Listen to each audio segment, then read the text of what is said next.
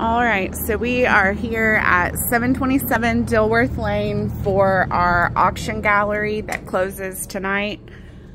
We'll walk around and take a look at some of the pieces that we have.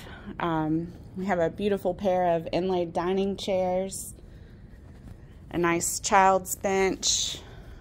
Uh, we're actually selling the mannequin that we've had over here for a while. We have a really nice cupboard some antique pieces. There's a nice side table, a jewelry box, and a jewelry armoire. We have some Victorian marble top furniture, so there's a nice vanity. Um, we have some mid-century pieces. This is an unusual lime green kind of retro chair.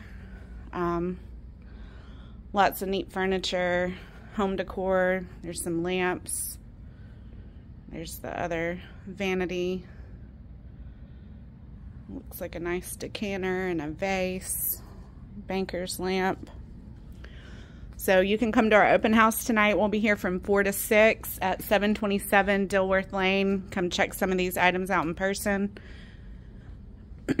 we have um, a really large collection of footballs, autographed footballs. You can come check those out.